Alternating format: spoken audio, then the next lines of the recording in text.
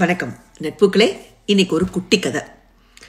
அமெரிக்காவில் ஒரு தடவை ஒரு அம்மணி காரில் நெடுஞ்சாலையில் பயணம் பண்ணிட்டு இருக்காங்க அப்படி போயிட்டு இருக்கும்போது திடீர்னு அவங்க கார் டயர் பழுதாகி ஒரு ஓரமாக காரை நிப்பாட்ட வேண்டிய சூழ்நிலை வந்துடுது. என்ன பண்ணுறதுன்னு தெரியல. தனியாக பயணிச்சிட்டு இருக்காங்க ஸ்டெப்னியை மாற்ற முடியாது அவங்களால.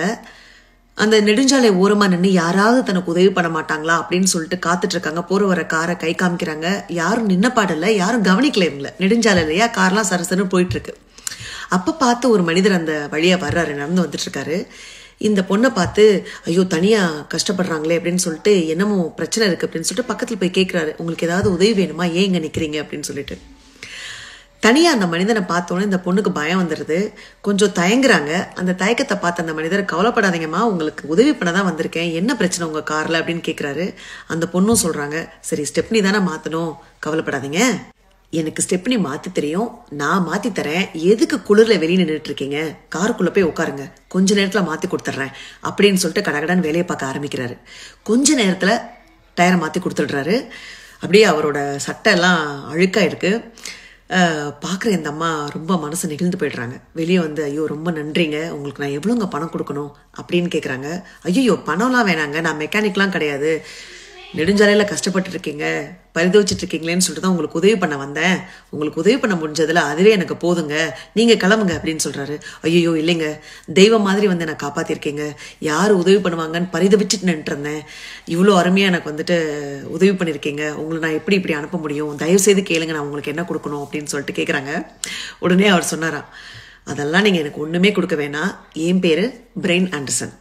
அடுத்த முறை உதவி தேவைப்படுற யாராவது ஒருத்தவங்களை நீங்க பாத்தீங்கன்னா எனக்கு கொடுக்கணும்னு ஆசைப்பட்ட பணத்தை அவங்களுக்கு கொடுத்து உதவி பண்ணுங்க. அப்படி உதவி பண்ணும்போது என்ன மனசுல நினைச்சுக்கோங்க? அது போதுங்க அப்படின்னு சொல்லிட்டு கிளம்பி போயிடுறாரு. இந்த பொண்ணும் வந்து ரொம்ப மனசு சந்தோஷத்தோட கார் எடுத்துட்டு கிளம்புறாங்க. கொஞ்சம் தூரம் பயணம் பண்ணதுக்கு அப்புறமா அவங்களுக்கு பசிக்க ஆரம்பிக்குது. பக்கத்துல ஒரு சிற்றுண்டி உணவகத்துல காரை நிப்பாட்டிட்டு உள்ள சாப்பிட போறாங்க.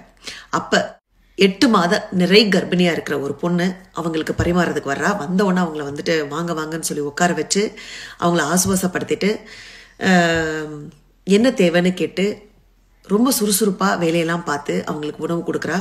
அந்த பொண்ணை பார்த்தாவே தெரியுது அவ்வளவு உடல் சோர்வுலையும் சுறுசுறுப்பாக வேலை பார்க்குறா.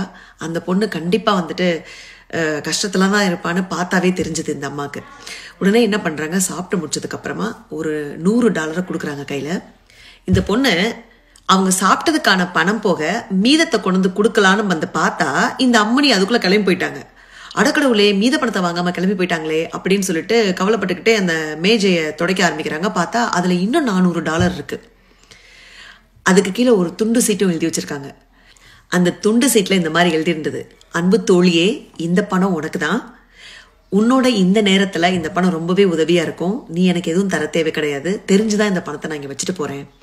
நான் நெருக்கடி காலத்தில் இருக்கும்போது முகம் தெரியாத ஒரு நபர் எனக்கு ஒரு அருமையான உதவியை பண்ணாரு. அவரை மனசுல நினைச்சிட்டு தான் இந்த உதவியை நான் எனக்கு உனக்கு பண்றேன். நீ எனக்கு ஏதாவது பண்ணணும்னு ஆசைப்பட்டேன்னா இதே மாதிரி உதவி தேவைப்படுறவங்களுக்கு இந்த அன்பு சங்கிலி அறுந்து போகாம நீ ஒரு உதவியை பண்ணு. அப்படின்னு சொல்லிட்டு அந்த துண்டு சீட்டில் எழுதியிருந்ததான் இதை படிக்கும்போது அந்த பொண்ணு கண்ணில் அப்படியே தண்ணியாக கொட்டுது. அதாவது அடுத்த மாதம் தன்னுடைய பிரசவ செலவுக்கு எப்படி நம்ம சமாளிக்க போகிறோன்னு ஏங்கிக்கிட்டு இருந்த அந்த பொண்ணுக்கு இது ரொம்ப பெரிய வரப்பிரசாதமாக அந்த பணம் அமைஞ்சதுங்க. மனசில் சந்தோஷத்தோட வீட்டுக்கு போனோன்னா அவங்க கணவர்கிட்ட நடந்ததெல்லாம் சொல்கிறா இனிமேல் நம்மளுக்கு கவலையே இல்லை. அடுத்த மாதம் செலவுக்கு நம்மளுக்கு கடவுளாக பார்த்து கொடுத்துட்டாரு இந்த பணத்தை. வரக்கூடிய பிரசவ செலவை நினச்சி நீங்கள் இனி வருத்தப்பட தேவையில்லை ஆண்டர்சன். நம்ம வாழ்க்கையில் எல்லாமே நல்லா தான் போயிட்டுருக்கு அப்படின்னு சொன்னால அந்த பொண்ணு. இந்த ஆண்டர்சன் யாரு? நெடுஞ்சாலையில் அந்த அம்முனிக்கு உதவி பண்ண ஆண்டர்சன் தான் இவர். கடவுள் பாருங்களேன் எங்கெங்க முடிச்சு போடுறாருன்னு சொல்லிட்டு இவர் அந்த பொண்ணுக்கு எந்தவித எதிர்பார்ப்பும் இல்லாமல் பண்ண உதவி எப்படி ரெட்டிப்பா இவருக்கு திரும்ப வந்திருக்கு பாருங்களேன் இவருக்கு தேவையான நேரத்தில். அந்த ஆண்டர்சன் வந்து வேற யாரும் இல்லைங்க. ஸ்கேட் போர்டு விளையாட்டு வீரர் பிரபலமான வீரர். தன்னுடைய நிறைய பேட்டிகளில் இந்த விஷயத்த சொல்லியிருக்காரு.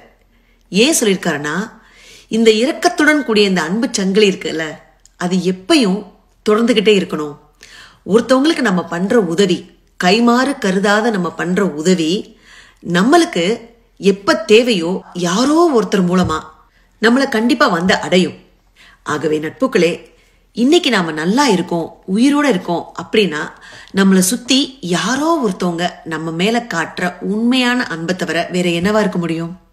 வாழ்க்கை வாழ்வதற்கே இந்த இரக்கத்துடன் கூடிய அன்பு சங்கிலி அருந்து போகாமல் தேவைப்பட்டவருக்கு தேவையான நேரத்தில் முழு மனதுடன் இரு கரம் நீட்டி உதவி செய்து நல்லவர்களாய் அன்பு உள்ளம் கொண்டு அன்பான ஒரு வாழ்க்கையை வாழ்ந்துதான் பார்ப்போமே. நன்றி. வணக்கம்.